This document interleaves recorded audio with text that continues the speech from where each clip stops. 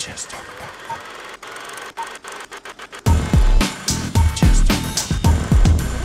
Uh, we are absolutely honored and privileged to have with us uh, a legend like yourself.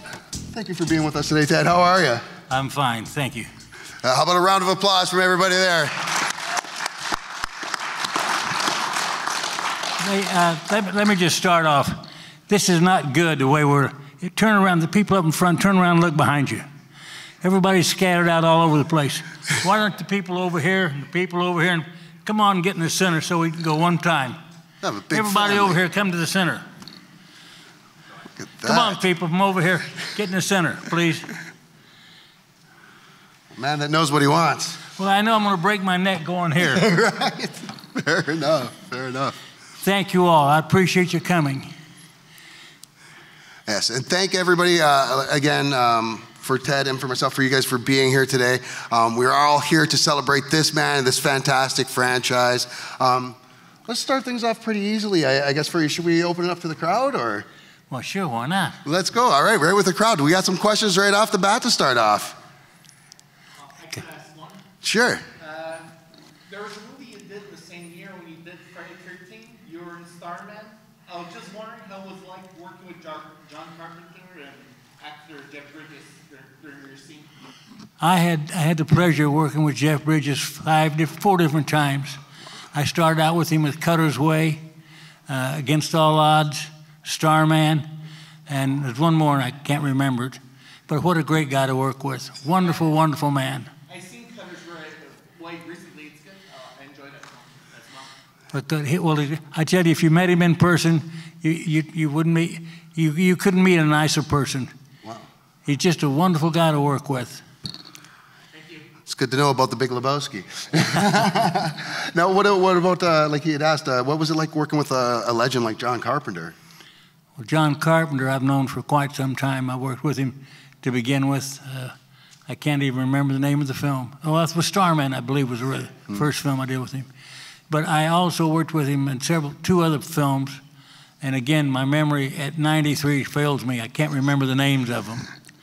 But uh, a great guy to work with. And Jeff Bridges, of course, I go way back with Jeff. I go back with Jeff when he was just an actor like myself in the early stages of the motion picture business. Now, you started off as a stuntman as well. And I, I, yeah, and I, you know what? I've never gave up, except I'm, I'm just too old to do it anymore. now, you had, but you've worked for legends like Clark Gable, John Wayne. Um, there's so many legends you've worked with. Is there anyone that stands out in particular for you? Well, how can you make it not stand out with Clark, John Wayne, and Clark Gable, so Victor Mature, Rock Hudson, all the big guys at six foot three or four. I had the pleasure of meeting them and working with them, and now uh, they're all gone. You know, uh, like the way of the flowers, when they dwelt, they go, and uh, we've lost them all. Uh, it's a shame to say it that way, but there's new ones coming up all the time. So we'll get new ones. Sitting right here in the audience right now, there may be four or five big name actors that two years from now they'll say, hey, I was sitting there listening to that idiot Ted White, and they am a big idiot. I'm a big actor.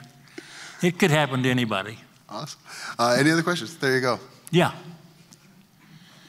Mr. White, uh, thank you. I think everybody is all in this room. I can't, I can't hear you. Can you hear me now? Now, Come on up. Thank you for, for taking my question. Um, I think everybody in here is a horror fan, and uh, this guy deserves another round of applause. And I mean that from the bottom of my heart. And I, I just had a two-part question. I won't, I won't be long. I know your time is precious. Uh, I was reading, um, you know, when you were filming Friday the Thirteenth for the final chapter, that you had a disagreement with the uh, director about some safety issues. Then, um, does any of that have any merit? I mean, like, is it some? If you're, talk, if you're talking about uh, Joe Zito, Yes. Joe Zito's a nice man. He, I, of course, we had a little bit of a problem, but uh, he's a good guy. There's nothing wrong with him. I, I was a little temperamental, and uh, I don't know if these folks know the story of what happened, but I'll, I'll, I'll try to be brief with it. Uh, this was in February, and it was at midnight, and we're on a lake, and it was very, very, very cold, about 23, 24 degrees. We had a girl in a rubber boat, a, a round, not a boat, just a round tub, uh, you know, that you get into in, in the water in the summer. And she had a bikini bathing suit on. Camera was set up on the beach, shooting out her in the water. And uh, she finally said to Zito, the director, she said, You know, I'm, I'm awful cold. Could I come in a little while? He said, No, put new film on the camera. Just take it easy. And I'm standing over by him. And again, she about 10 minutes went by and she said, Please, I, have got to get out. I'm getting very, very cold. And I, I need to get out and get warm for her. He said, No, no, we'll have film. So by then, I could looked at her and she, her, her teeth were just rattling. She was really, really cold. And you can imagine with a bikini on, 23 degrees at 12:30 at night. And I went over to Joe and I said, Joe, let's get her out of the water. And he said, number one, let's get this straight. I'm the director, you're the stunt man. You do the stunts, I'll direct. And I said, Joe, you're a dirty, rotten son of a bitch. That girl's freezing to death. And I'll walk if she don't get out. He said, What do you mean you'll walk? I said, I'll walk off the set. I won't do this show. He said, Are you serious? And I said, Watch me. And I turned around and started walking away. And he said, All right, stop. Get her out of the water. That's a true story. But to this day, that girl suffers her nose, her ears, her eyes. I, I, there's a name for it. I can't tell you the name of it, but she still suffers from it to this day because of a director who wanted to keep his shooting on time and not get behind in the film. And to save that time, he wouldn't let this girl out of the water. That happens a lot of times in the motion picture business. Directors take advantage of the people working for them because he's the director, he's the know it all, he's the man and with, with all the advice from everybody on the, on the business. And if he can't tell people what to do and tell them how to do it, he's not the director anymore. So with Joe Zito, that was the big issue with him. He wanted everybody to know he was the big kahuna on the show. He could have cost this girl her life. And he still, the girl to this day, like I said before, and I'm being redundant, she still suffers from it. Sad. I don't want to make an issue of it, but I thought you should know that. I think we all applaud you for that. That's, that's, it's a humanitarian thing, and we need more of that. I I, can't hear you. Uh, That's, that's a very human thing to do, and I think we need more of that in today's day and age. Um, I just had another question too. What was it like, um, one A, one B, one C? What, what was it like to work with, uh, Corey Feldman? And, uh, you know, would you, what advice would you give to anybody that's thinking about getting into this business, whether it's directing, acting, stuntman, uh, screenwriting? Do you have any advice for that? So that that would be, Well, let, let's start with Corey Feldman and end there. No, we've, we've, we've uh, settled our differences. Uh, he's all right, and the Corey's a nice guy. He was just, when I worked with him, he was just 11 years old and working with a bunch of adults. And he was, you know, 11 year old kid sitting on a set. Uh, there's nothing for him to do. And uh, he gets mischievous. He gets into trouble, like any kid would, you know. And that's where it all started. He started having a time with me with getting behind me and, and tickling my ears or something with twigs, some sticks, and just different things. And because of that, people made a bigger issue of it than it really was. I got after him a couple of times, but I, I never really hurt him. I had one opportunity to get him, and I got him pretty good by the neck. But anyway, I didn't hurt him. The kid's all right. I was told he was coming to this show, and I was looking forward to seeing him again. But anyhow, he's not here now. Uh, thank God. Anyway. Come on, some people out there. Who? who- Any questions I can answer? Yeah. Is it true that you gave your neighbor kid your original hood that you wore in part four? Yes, I did. And I'll tell you why. It's a little tough to talk about it, but since you brought it up, I'll tell it. Uh, I had watched this kid grow from the time he was four years old. And I have a, where I live, I have a woodworking shop. My hobby is woodworking. And uh, between the property where he lived and mine, uh, there's gated, there's a one gate in there that he used to come over and watch me do woodworking. And uh, from the time he was like six or seven years old, he grew up watching me do woodworking. And, and we became, we came, you know, we became friends. I mean, I, as an adult and then as a kid, but I, I liked him because he liked woodworking. He liked working with wood, and he liked watching me do it. And little by little, he would do a little bit with me time went by. And then I didn't see him for three or four months, and I couldn't figure out what the heck happened to him. And I saw his dad one day pulling out of the driveway, and I happened to be walking over by him, and I said, Art, where's the, where's the Corey, not Corey, but Lewis? And he said, uh, he has cancer, and he's in the hospital. Well, that took a, that it was a, a jolt to me to know that, that that young kid, at that time I think it was 12 or 13, had cancer, and I didn't know that it was actually, they said it was terminal. Uh, it, it's hard to go back and talk about it and not get a little upset, but I'm not going to do it in that way. Uh, if the people out here in the audience has anybody that's ever been affected with cancer, just raise your hands up. Let me just see how many people know. If, I wish you people up in front turn around and look back. Keep your hands up for just a second.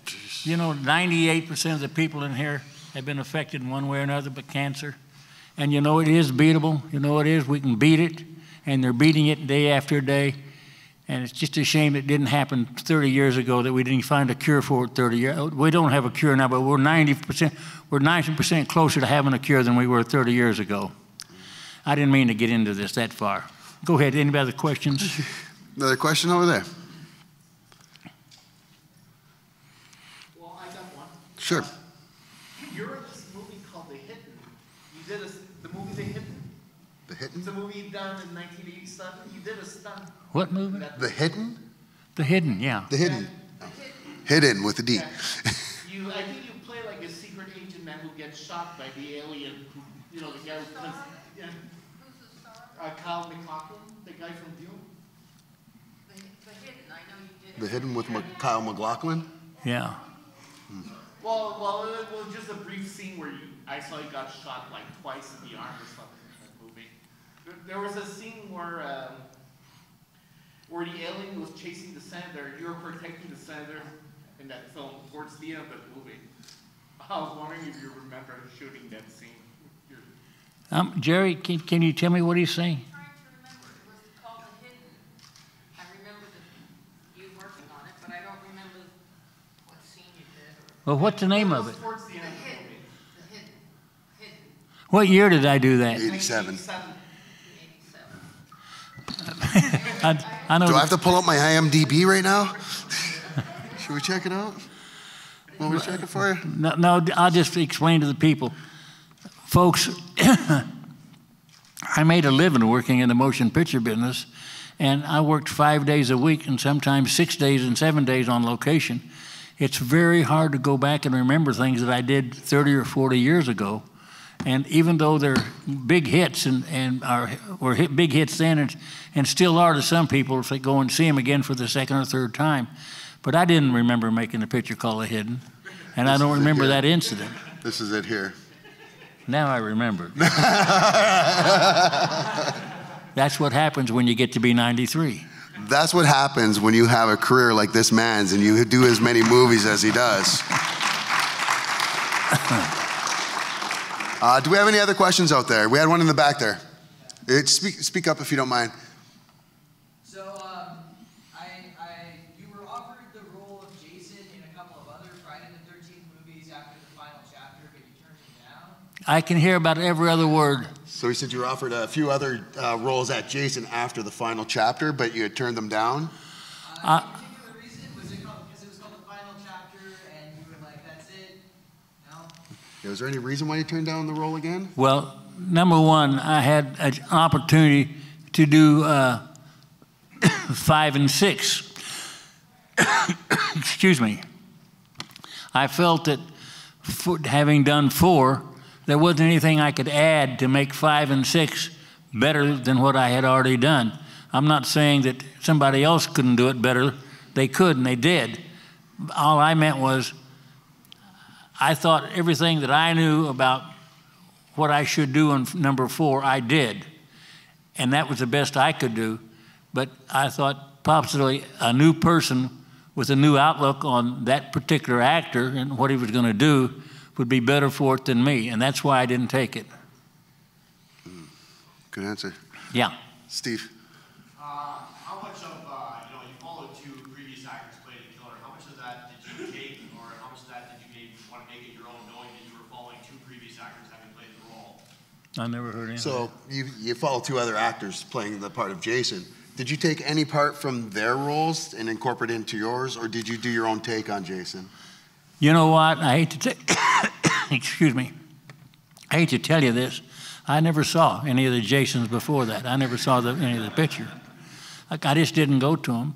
My young, I have two boys, and my youngest boy had seen one or two of them. And when I told him that I was going to do one, he got very excited about it and said, "Pop, could I come down and watch?" Which he did. But no, I hadn't seen any of them at all. And I didn't, I didn't have anybody to, to bounce off of, as we usually say. I just had to go in and do what I felt was right. And I didn't know whether it was right or it was wrong. But I, I made up my mind that I wasn't going to walk like Boris Karloff. Right. I made up my mind I was going to run, and I did it. And everything I thought that a man would do if he's healthy, he should do. He shouldn't try to make himself a cripple if he's not. And that was my take on the whole thing. And I think a lot of people, especially in this crowd, I'm just looking around as you were saying that, and I think a lot of people appreciated that take that you took on it. You know, going away from the the slow walk, but yet he's still going to end up in front of you somehow. Um, so yeah, I, I think that's a great decision that you made. Do we have another question over there? All right, my little man. How is it working with John Wayne? What did he say? How was it work? How what was it like working with John Wayne, with Marion? Well, uh,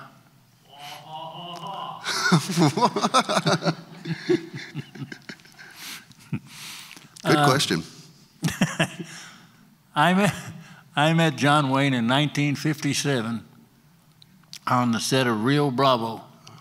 And uh, I didn't know when I, at the, t- let me go back a little bit. There's a place in Hollywood where you go down and, and get wardrobe. And wardrobe is what you wear in the motion picture business when you're doing a part or doubling somebody. And uh, I was working for Warner Brothers, and they sent me down to get dressed. And I went down, and in the green room, that's where the big name stars are. And where the stuntmen and the, and the actors and so forth are in what they call the overall room, where everybody goes in there and have nine or ten different people trying to wait on you. In the green room, when I walked in, the lady there at the desk says, Ted, you go to the green room. And I said, Well, I think you're wrong. I'm just a stuntman. She said, No, you're doubling somebody in the show, so you go to the green room. Well, the green room was where all the actors wore got their costumes. I had no idea whose costume I had, but they were fitting me in it, and it turned out everything I put on fit me perfect. They didn't have to alter anything. The shirts, pants, everything fit me perfect, even up to the boots. So uh, three days later, I'm told that report to, uh, to the studio, and they're taking me by car to the airport and flew me to Tucson, Arizona. And we got to Tucson late that afternoon, and we were scheduled to start working the next morning at 6:30. And when I next morning at 6:30 got up, went down, and walked right on the set, which is in the old Tucson. There's a movie set there. I don't know if any of you folks have ever been there, but it's an actual street on both sides that they've been shooting on for years and years. Shot all kinds of movies there. I went down there to get my wardrobe on, and the guy that put wardrobe on me said, "It's so funny that everything fits you to a perfect T. We don't have anything but what's your head size?" And I said, seven and an eighth. And he said, "That's the only thing that's different. The guy you're doubling is seven and a half, or seven and three eighths." And I said, "Well, then I, I don't wear a hat." He said, "No, we'll fix the hat wear to work." So I went, I went out on the street. I wore these clothes, put them on, got out on the street, and sat down. And about 20 minutes later, I see the rest of the crew coming in. They're setting up a camera shot for the street. And I looked down, and here comes a guy walking up. And I, I looked and looked again, and I said, Oh my God, that's John Wayne. Now you got to think here's a guy that was only 19 years old and I grew up worshiping John Wayne. And here I'm seeing him walk down the street, and he's wearing the same clothes I got on. And I said, oh, this can't possibly be. How am I going to be able to tell my kids or my people around the house where I live that I doubled John Wayne? They're not going to believe it. And I met him for the first time. And his first words he said, What's your name, kid? And I said, Ted White. He said, You play chess, Ted? I said, Yes, I do. And he said, Sit down, we're going to play. I played chess with him for three or four times. He beat me every time. And that was, that was my induction to John Wayne. And I had the pleasure of making five films with him afterwards. What a nice, nice man. Wonderful guy. Great story, great question. Uh, we got one right back here first. Yep, with the hat. How was it uh, working with uh, Walter Brennan? Walter Brennan? Brennan.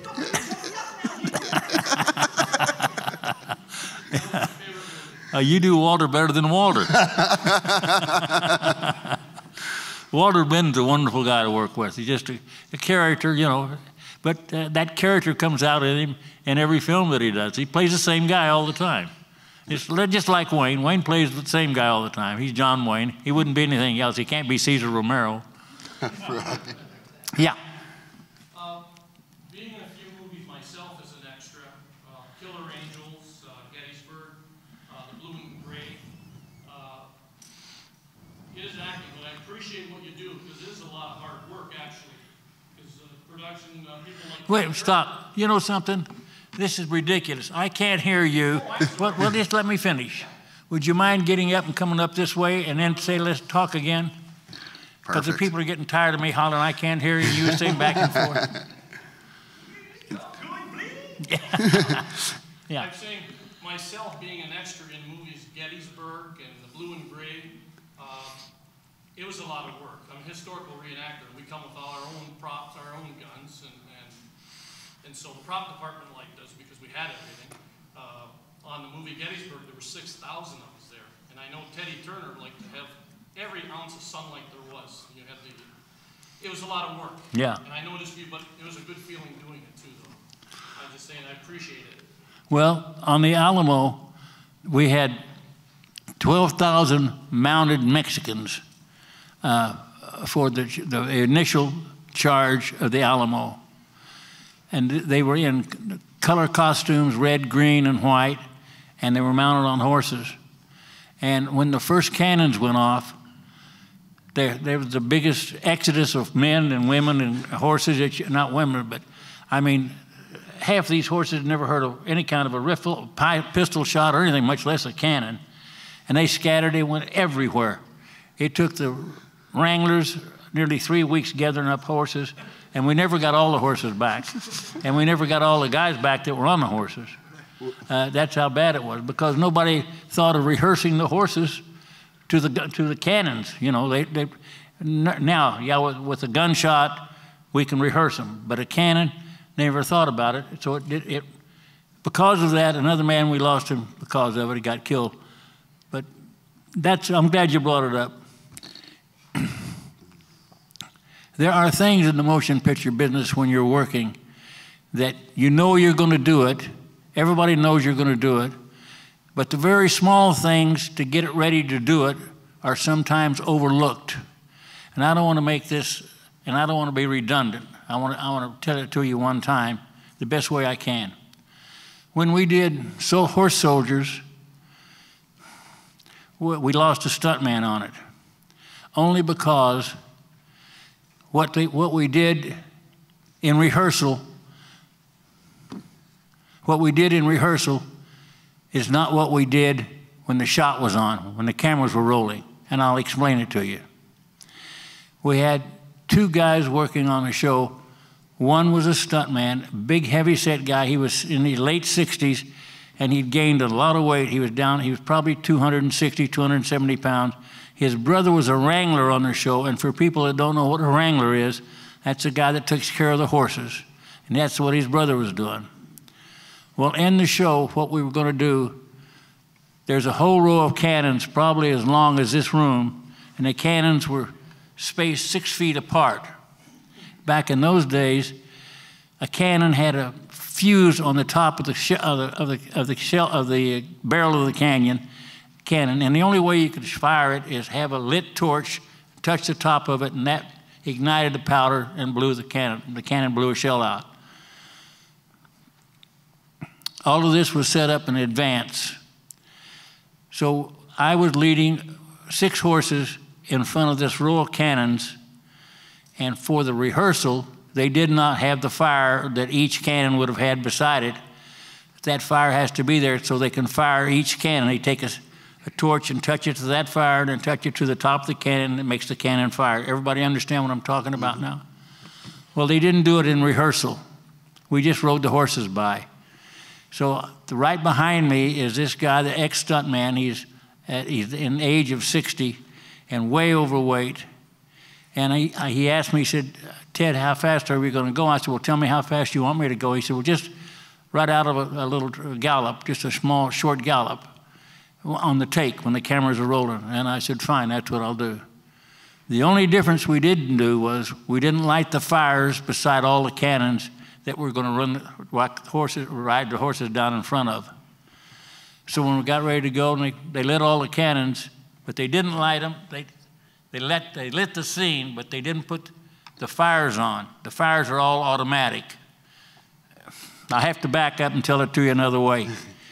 To have fires all down in front of all those cannons, there's a line that runs right in front of the cannons, and it's got gas in it, natural gas. Oh and they, they put them on, they have a, a, a, burner on each one by the cannon. It makes it look like a fire with wood stacked around it. Everybody following what I'm saying? Like a Bunsen burner. Yeah. So that wasn't done. We, we, we did the walk with the horses and everything, but the fire was never on. So when we got ready to shoot it, they hollered action. They turned the flames up, and the horses was right by the fire.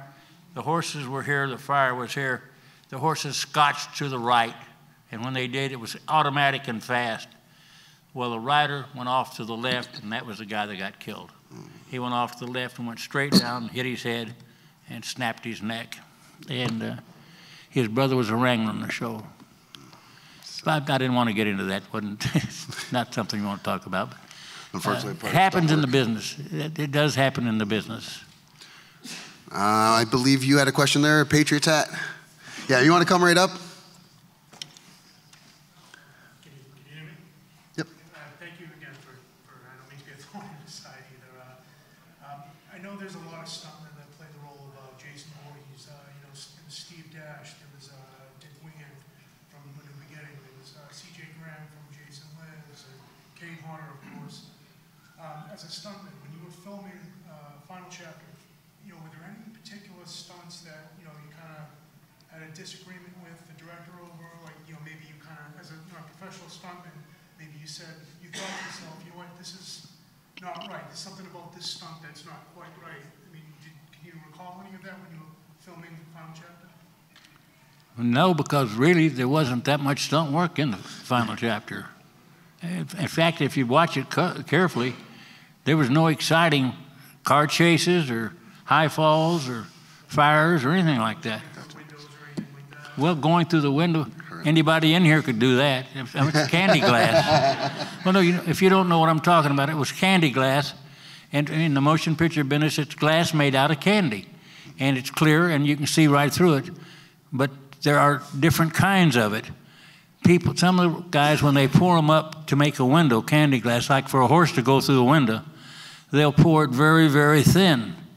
But then if they're going to have, let's say, a, a windy day they'll pour it thicker so the wind won't break the glass. That's how easy it is to break. They'll make it thicker. So they, they can make the candy glass in the window as thick as they want it or as thin as they want it. So when we did it with horses, now I've got myself off on another, I have to explain something else.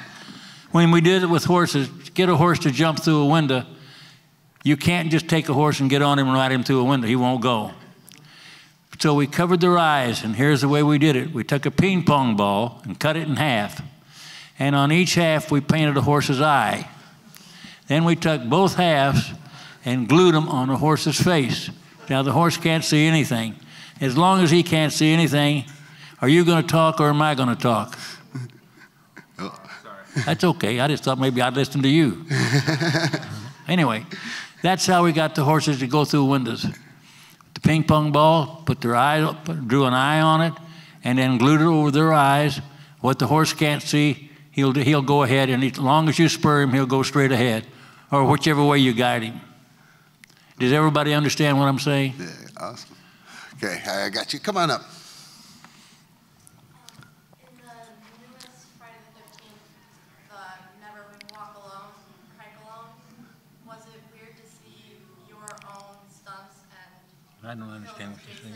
Jason shown after the fact? So when you're watching, so I, if I can kind of paraphrase there, um, when you're watching the newer movies, um, you- like have you watched any of the newer movies, the newer Friday the Thirteenth movies? And when you watch them, are you seeing some of your own stunts being done there? Are you seeing uh, the way that you played Jason be kind of relived through newer actors? Uh, Did I get that kind of right for you? In the newest one, Never Hike Alone, it's, it shows all of the old Jason deaths areas. Oh, Like the other, first one? It's just from part one, though. It's just Yeah, yeah, like part two, part three, like part one, when he went on the beach.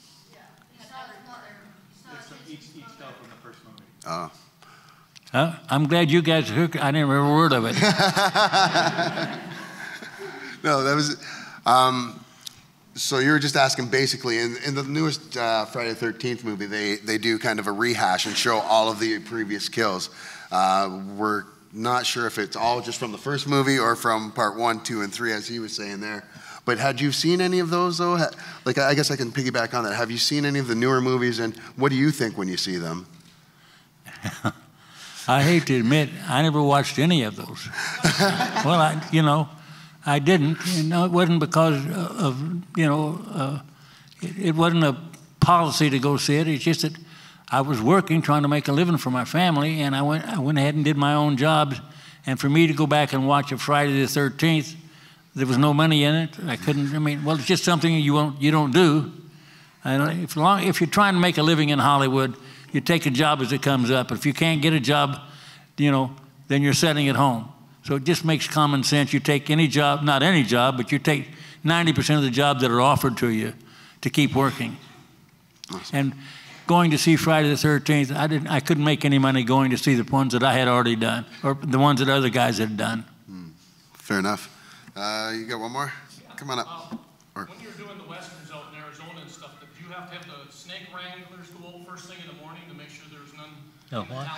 Snakes, rattlesnakes? So when you were doing that, when you're filming westerns, like you, like you were with uh, John Wayne and that, did you have anyone that was going out ahead of time checking for snakes and that stuff in the area because of the areas that you filmed? All the snakes were on the set riding horses. no, no, no, no, no. We, we didn't, we didn't have anybody looking for snakes. Uh, believe me, there was enough snakes on horses. You were the one testing for it on your own. Yeah. Um, all right, my little man. First you were a Marine, then a football player, then a boxer, then a stuntman. So first you were a Marine. Trying to be the tough guy? Oh, I like that. So first you were a Marine, then you were a boxer. Was that right? Football, play football, then a boxer, then a stuntman. Have you always just wanted to be a tough guy? Is that the question I got right there? have you always wanted, or have you wanna- just always been? I want to give this, make this perfectly clear right now. I never was, never wanted to be, and never will be a tough man, a tough guy. I'm just an old man making a living. That's all. no. Then why did you be those things then? He's asking, why would you want to do all those things then? Because you got to be a pretty tough guy to do all that stuff. I think we all kind of look at you as, you know, this Well, I tell you larger what. than life guy. It, it make, comes down to very simple. Do you want to eat? You do the work. If you don't want to eat, don't do the work. I'm, I'm in agreement with you all. Hundred percent. Okay. Yeah. Uh, do you want? Do you mind just coming up a little bit closer so we can hear you? Awesome. Was there any other stuntman that you particularly enjoyed working with? Was there any other stuntman that I enjoy? 90% of the time when you go on these shows, there are other stuntmen that you do work with. Some of them are old guys like myself. Some of them are young guys that are just breaking into the business. And sometimes you have the, the privilege of helping the younger guys come along by showing them new things that you did, you know, in, in your older age and things that you learned to do to make life easier for you in the business. And there are many things that you can do to make life easier for you in the business. Excuse me. I won't go into that right now because it takes a long, drawn-out thing. But uh, most of the guys that work that you work with now are seasoned stuntmen. If you're on a major motion picture, the younger guys that are just breaking in, most of them are on television until they get their salt behind them and know more about what they're doing. Then they graduate to a major motion pictures and big films. Uh, but television is the mainstay of 99% of the stuntmen in Hollywood. Uh, that's where you're going to get your bread and butter day in and day out. Now, if you go on a big film, you can go on a big film and stay on it for six or seven months, where with television, it's one day or two days. Except in back in the eras of 1940, no, 56, 40, 56, 57, 58, Warner Brothers had four different shows going that were westerns. I can't remember all of them. I did, but many times I'd do two of them or three of them in a single day. I'd do one and finish early in the morning, and I'd, they'd switch me over to another one. I'd finish that.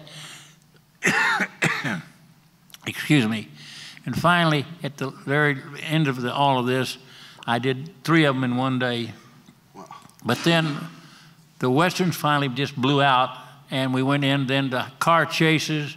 Uh, it was Hollywood gangsters, that type of thing.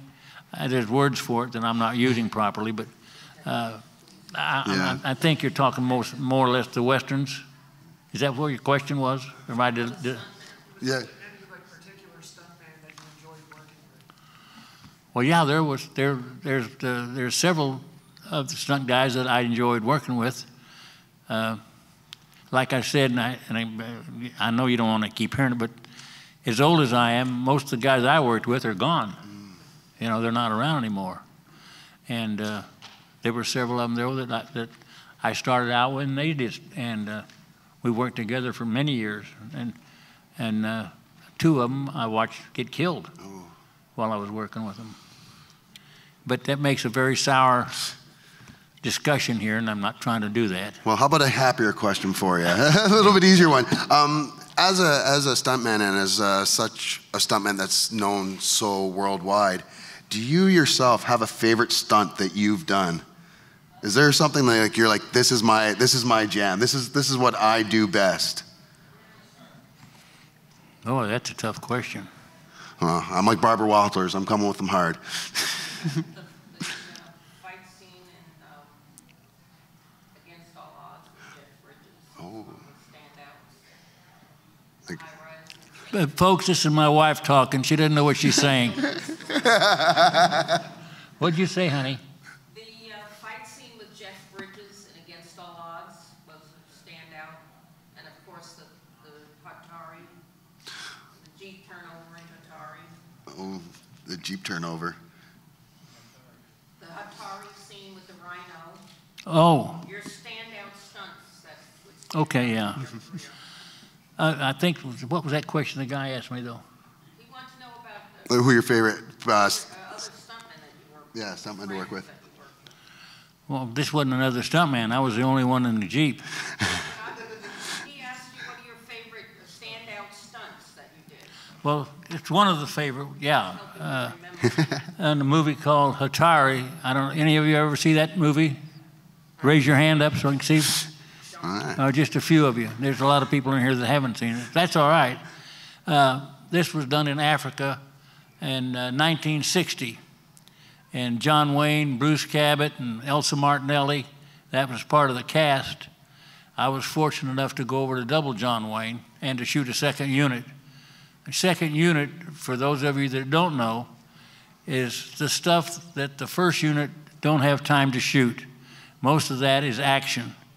And then not only just the action, but drive-bys. A drive-by is when your camera's set up and a car goes by, or a wagon goes by, or a horse, that's called a drive-by.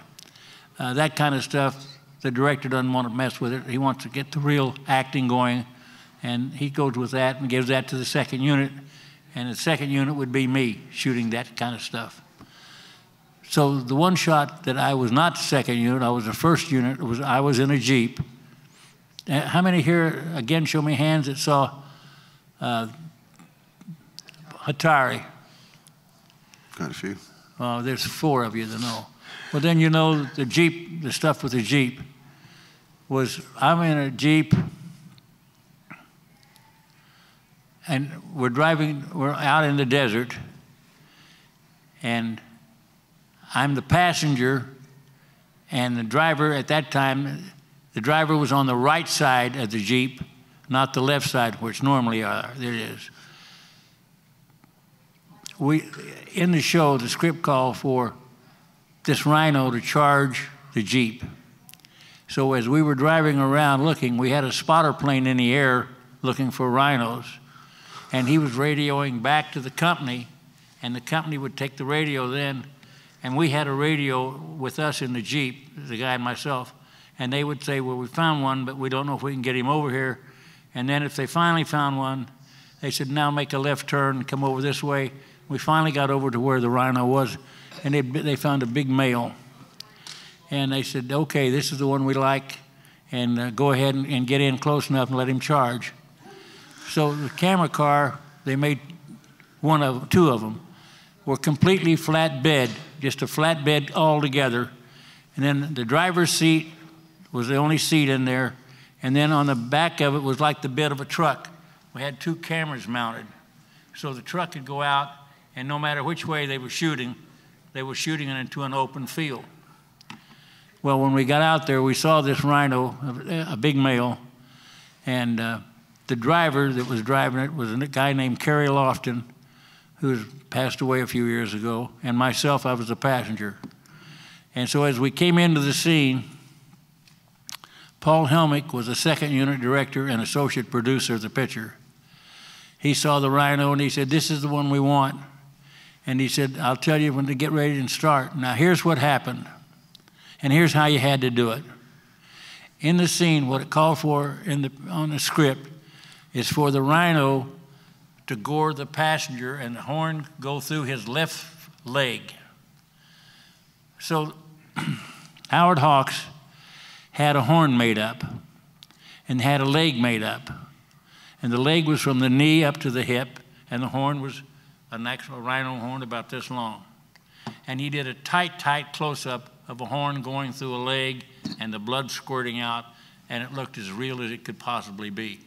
Now, that was already shot, that was all done. So now we're in the Jeep, and here is this big male rhino, and Howard Hawks is talking to Paul Helmick, the second unit director, and he said, This is the rhino we want to shoot.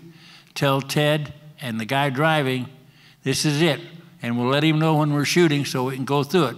Because here's what had to happen. To make it look real, the pants I'm wearing, I have to, the rhino has to go through my left leg.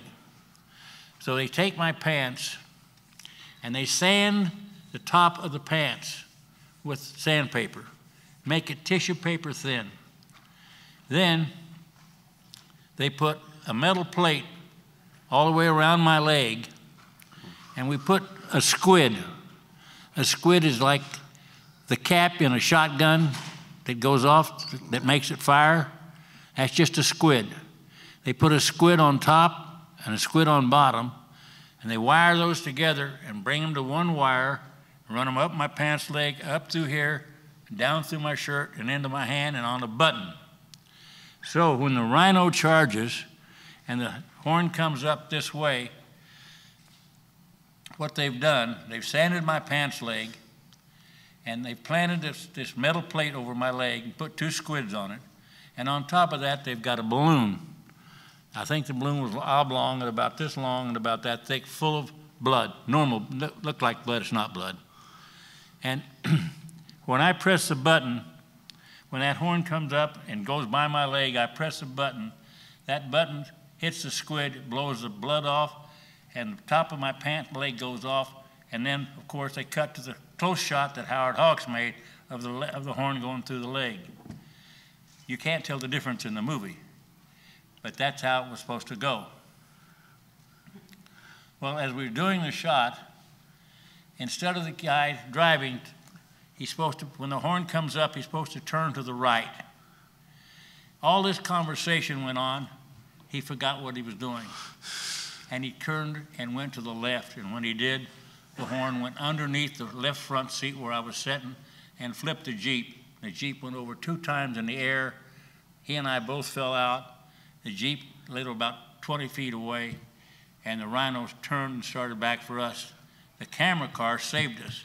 They drove in between us and the rhino, and they got the rhino to follow the camera car out. That's just one time. Wow. Things happen that you don't count on. Things happen that you're not you're not even thinking about. You're thinking about the shots you're going to do and how we're going to do it. And so they said, well, we knew how what we were going to do, and we and it would have worked fine, except for the one thing: the guy turned the wrong way in the jeep. So we're going to go back and do it. We did it the second time. It worked out fine. But in many many instances in the motion picture business, you'll find where you set something up and you put it all together, and you know it's going to work because you've done it before, or you know it's very practical. It's the easy thing to do. And then at the very last minute, something happens that you have to change it. Either a camera moves to a wrong position, or they put a different lens on, or some director's calling the cameraman from a, another shot. Anything can happen where they change the scene, but they don't, they don't tell you, the stuntman, what's been changed. The communication falls apart. From this, that, we have a man that he's gone now too, but he lost a leg on a shot where we had a bunch of trees, uh, telephone poles, on the bed of a flat car train. And we had them where they rolled. At a certain period of time, they're supposed to break loose and fall off. And we, he was standing, he's standing on top of them. And they said, here's the one thing we have to remember. Just before they roll, we have to let him know so he gets a foot stance and a handhold with a chain handhold so he, he can make himself steady so he doesn't go with those when they start rolling. Well, everything went fine and dandy, except at the last minute, they forgot to tell him that they're going to roll the logs. They rolled him. He went underneath the, the uh, flatbed, cut half of his face off, and cut his left leg off. So the thing, the, the, things like that happen in the motion picture business. You, you, things that you don't think or don't expect to happen happen because people neglect or forget to do certain things they're supposed to do. Yeah. Amazing. Uh, any more questions there? One more. Last one? Uh, do you know what happened to the first mask in part four? Because there were two masks used and one disappeared off set. Do you know what may have happened to it? Sure, I know. I took it home. Awesome. I think that's uh, that's probably a sorry. No, no. I only had it for one day. The little, there was a little boy lived next door to us. I think I told you part of this Yeah. earlier, and he came down with cancer. I'm, I'm at the hockey match, sir. That's what I'm going to tell you. You're getting a little ahead of my story. Sorry, for- forgive me. I gave him the hockey mask. That's what happened to it. And the hood. So we got them both.